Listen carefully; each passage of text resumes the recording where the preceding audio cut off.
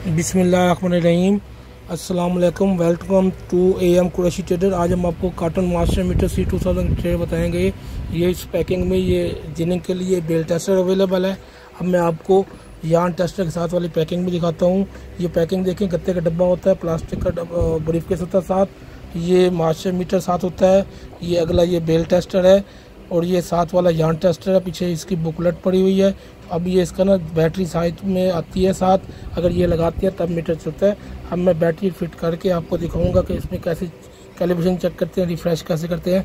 अब ये रिफ्रेश करने और कैलिब्रेशन का तरीका ये कि टिक वाले बटन को दबा के फ़ौरन स्टार वाला बटन दबाएँ। तो स्क्रीन पे कुछ देर बाद, ये नुक्ते के बाद रिज़ल्ट टेन पॉइंट एट आएगा। टेन पॉइंट एट आए तो ठीक है और बैटरी भी ठीक है।